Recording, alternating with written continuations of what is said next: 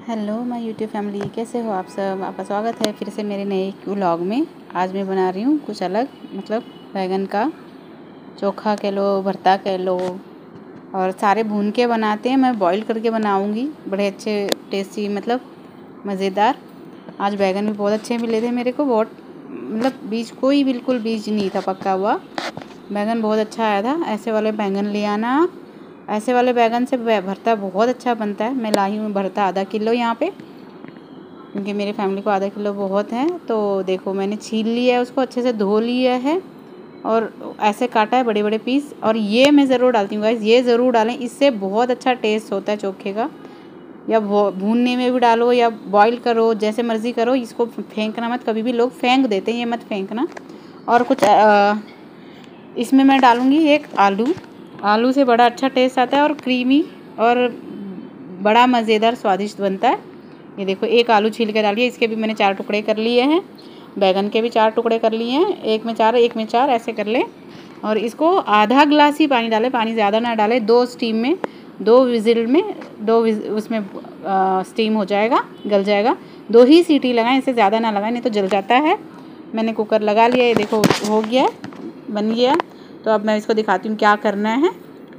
इसका इसका टेस्ट मज़ेदार इतना बढ़िया आता है ना गाइस आप यकीन चूल्हे में भूनो, उसको ठंडा करो, फिर छीलो, ये करो, ये सब ताम झाम ही नहीं होगा। डायरेक्ट चढ़ा दो, छील छाल के धोधा के चढ़ा दो और मैश करके भरता बना लो। बहुत टेस्टी बनता है और टाइम भी बचता है आपका।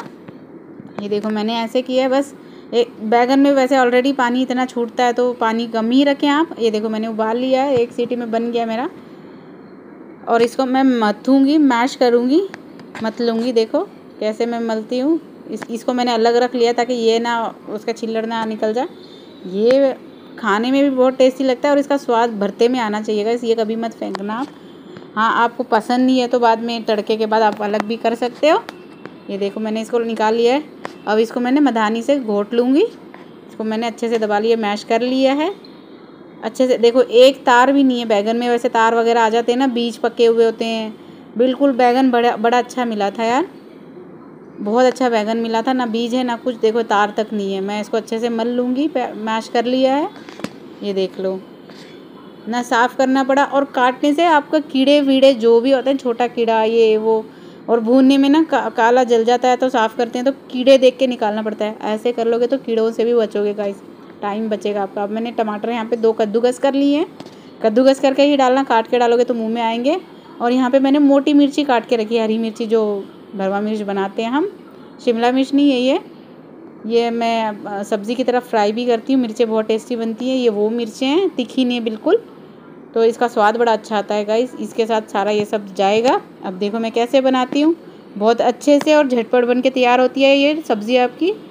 चोखा। एक आलू ज़रूर डालें, आलू से आपका टेस्ट बदल जाता है और और दस गुना बढ़ता है उसमें। भरता, भर मतलब भरते की, भरता है ही है।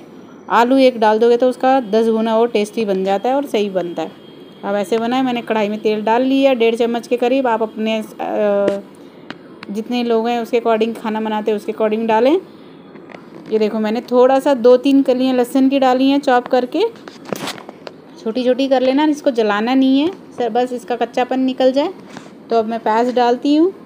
प्याज भी मैंने दो ही काटे हैं गाइस दो टमाटर, दो प्याज। छोटा छोटा ऐसे काट लो चॉप कर लेना। ये देख लो। इसको मैं ज़्यादा नहीं भूनूँगी। ज़्यादा भूनोगे तो भरता काला हो जाएगा। और बड़ा मज़े का बनाएगा ये बहुत टेस्टी बना है, यकीन मानो। ऐसे करके देखो आपका घर में भी पूरी स्मेल फैल जाती है, वो भी नहीं बनेगा और एक सीटी में बन के भरता तैयार हो जाएगा आपका। ये देख लो।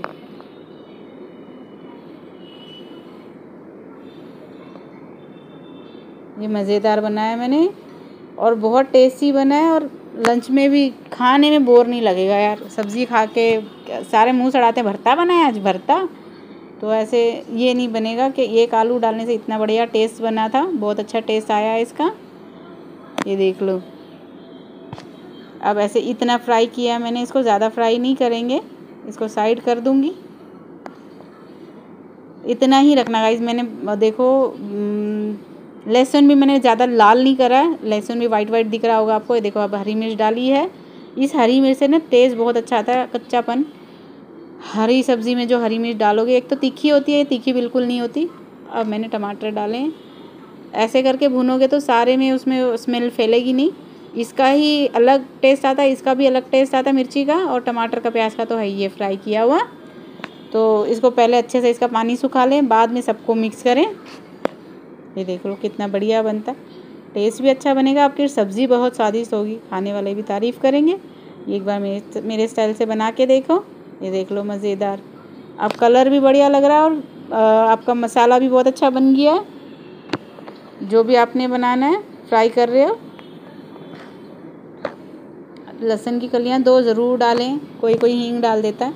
लहसुन के स्वाद से बहुत अच्छा और मैंने एक चौथाई ही डाली हल्दी और कश्मीरी लाल मिर्च चाहिए सुरख मिर्च, दरदरी। मैं दरदरी रखती हूँ यहाँ पे, और स्वाद अनुसार नमक। अब डाला जी बैगन, ये देख लो।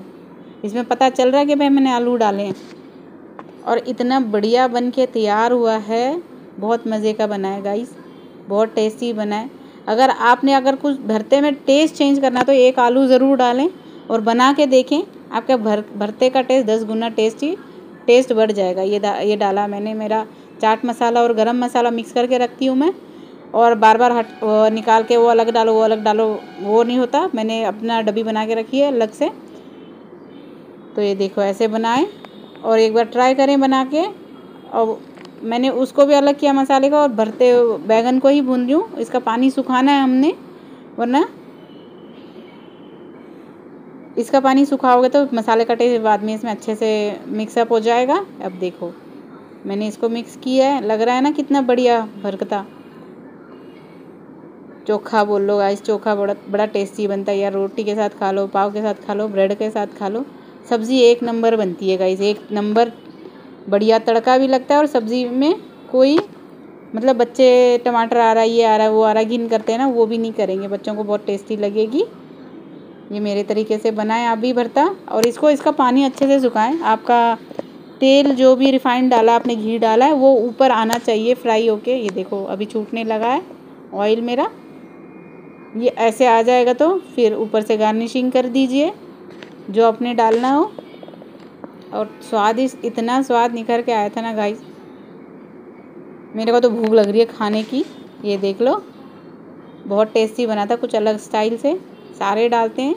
कच्चापन मिक्स करते हैं ना, मैंने फ्राई करके बनाया।